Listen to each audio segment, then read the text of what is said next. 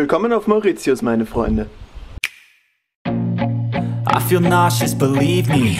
Never had a lot of shit come easy. Had to work hard, struggle just to be me.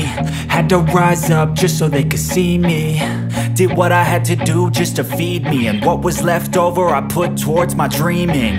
But the only thing in life that has meaning Are the things you gotta work for, believe me into your hands a plan. Your own hands can land your own brand. And damn, I feel like no one takes accountability. They want the credibility Convincingly unwilling to put in the fucking hours It takes to get some power. Don't be fucking sour. Take a cold shower. Scream until you're louder. Work until you're prouder. And fuck all the doubters. They're just fucking downers.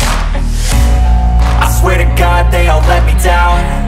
I always fought just to wear the crown.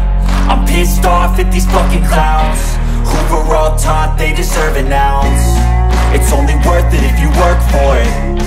It's only worth it if you work for it. I won't stop till they hear me now. I won't stop till I wear the crown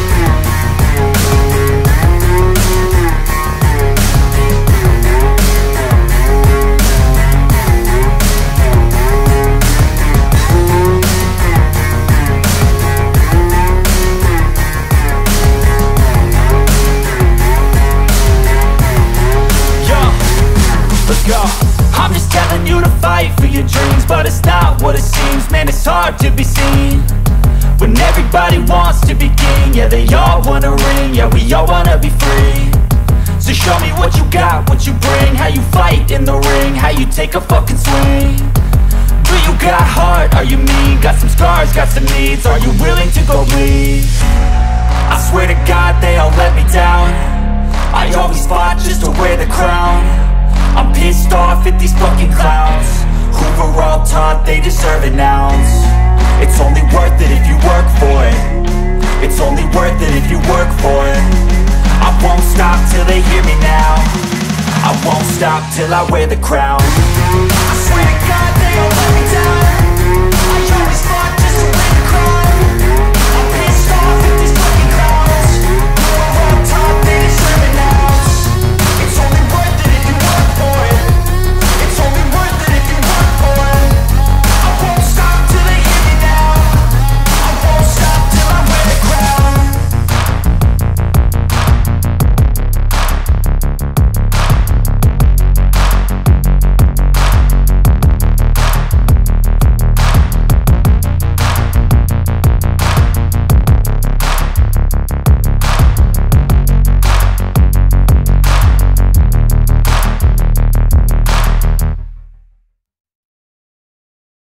What are your feelings towards this? It's Spicy!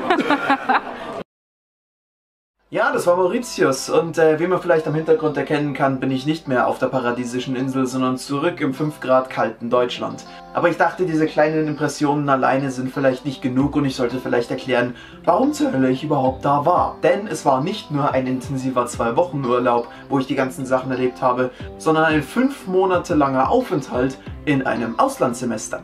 Äh, ich ging dort zur Curtin University, einer der führenden, ich glaube, ein, Top 1% äh, der Designer-Unis weltweit äh, und habe da ein Semester verbracht. Muss sagen, es war schwieriger wie in Deutschland tatsächlich ähm, und deswegen habe ich auch sehr viel von meiner Freizeit investieren müssen, damit die Noten einigermaßen gut waren. Waren sie. Heißt, diese Clips, die ihr gerade gesehen habt, waren eben von den gesamten fünf Monaten und äh, da habe ich einige Ausflüge gemacht und äh, möchte kurz die besten sozusagen erwähnen. Wir waren auf einer Dolphin Watching Tour, wo wir auch eine sehr schöne Insel neben Mauritius äh, besucht haben, die wirklich so genau paradiesisch ist, so wie man sich eigentlich diese Tropen vorstellt. Wir waren auch auf einer Whale-Watching-Tour, wo man wirklich so das Muttertier mit dem Kind gesehen hat. Das war extrem cool. Und wir durften auch mit den Tieren tauchen äh, und konnten sie sozusagen so von nah auch sehen. Äh, wo ich, muss ich sagen, einen Schreckmoment hatte, weil an einer Stelle bin ich reingesprungen und äh, ich hatte meine normale Brille auf und die Taucherbrille drüber. Und das Problem ist, dass Wasser reinläuft und ich sehe nichts. Und ich war gerade am Ausleeren von der Brille und der äh, Captain von dem Boot war drauf an und ruft so Get away from there, move, go, go, go. Und ich so, warum? Hab die Brille aufgesetzt, unter Wasser geschaut und der Wal war drei Meter vor mir. Ja, und äh, Wale selber sind ja nicht so gefährlich, aber von der Schwanzflosse willst du auch nicht getroffen werden. Wir waren auch später, als mein Vater dann vorbeikam, noch insgesamt an sechs Tagen beim Fischen draußen mit ja, mittelmäßigen Erfolg. Äh, wir haben ein paar schöne Fische gefangen. Äh, einmal einen Wahoo, einen Mahi Mahi. Äh, ich habe einen Yellowfin Tuna gefangen. Wir hatten auch mal einen 300 Kilo Marlin an der Angel, aber der ist uns dann abgehauen. Ähm, leider, muss man sagen. Das wäre wirklich das Highlight gewesen und das T-Shirt habe ich genau deswegen angezogen gehabt. Ihr habt in dem Clip vorher einen Hai gesehen, der war natürlich in einem Aquarium, aber es gibt um die Insel ganz viele Haie. Wir waren unterwegs beim Fischen und wir hatten einen Doubleheader, also zwei Angeln mit einem großen Tuna dran. Und mein Vater und ich haben gleichzeitig gedrillt und äh, plötzlich war sein Fisch weg. Nach ungefähr fünf Minuten. Und äh, der Captain hat uns gesagt, ja, das war ein Hai, der den Thunfisch gegessen hat. Zehn Minuten später, als ich dann so an der Angel hing, äh, kam dann auch ein Hai und hat meinen Tuna gegessen, was mich natürlich sehr geärgert hat, aber das passiert. Da drüben gibt es nämlich Bullenhaie, Tigerhaie, Hammerhaie, ganz viele Haie. Ansonsten äh, nicht nautische Sachen haben wir auch unternommen. Wir waren in einem Adventure Park, sag ich mal, mit ganz vielen Ziplines. Äh, mit unter anderem einer eineinhalb Kilometer langen Zipline. Äh, da habe ich genug Videomaterial für ein ganzes Video. Vielleicht mache ich das ja noch. Ja, und ansonsten äh, sind wir einmal um die Insel gefahren sozusagen, haben uns fast alle Strände angeschaut, weil das meiste da drüben sind Strände. Und ansonsten kleine Ausflüge, sind in viele Clubs gegangen, auf Partyboote.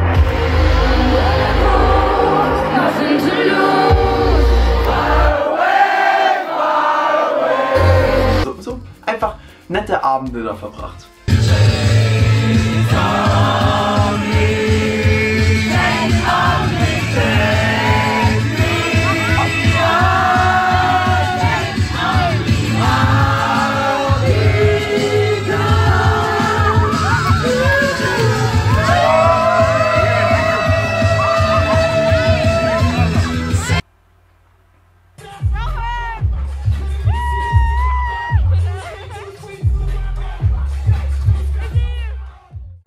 Über Mauritius lässt sich ein paar Sachen äh, erzählen. Äh, zum Beispiel, sie fahren links anstelle von rechts, äh, was glaube ich von Indien kommt. Äh, sehr viel indischer Einfluss auf der ganzen Insel. Das Essen, die Leute, ich glaube 40% aller Leute auf Mauritius kommen äh, von Indien.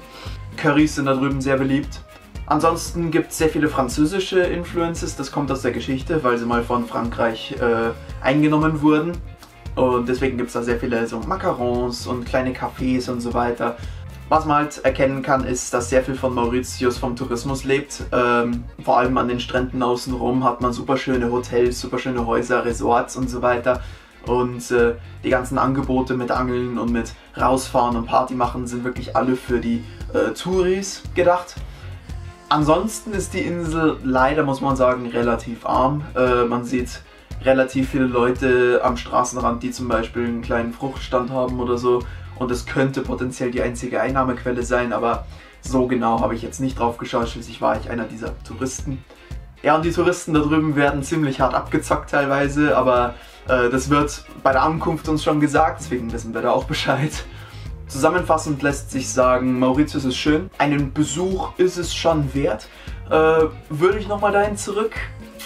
Eher nicht. Ähm, das hat ein paar Gründe. Einerseits gibt es dasselbe Angebot so an Stränden und Tourismus an anderen Orten auch, ähm, die vielleicht potenziell sogar schöner sind.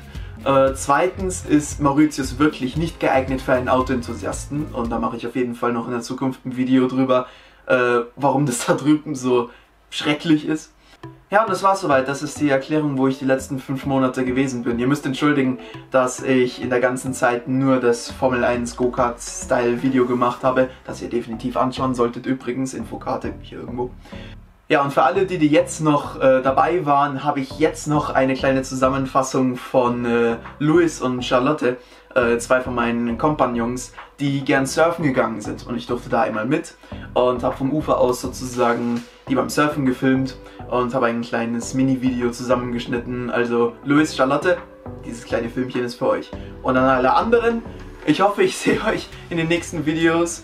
Äh, die nächsten wahrscheinlich über Mauritius und danach wieder verschiedenstes von hier, was mit Autos zu tun hat. Also hoffe ich, ihr driftet eure Hand über den Abonnentenknopf, macht einen Burnout auf dem Like-Button ja, und ich sehe euch nächste Woche. Und jetzt noch das kleine Surfing-Video. Ciao!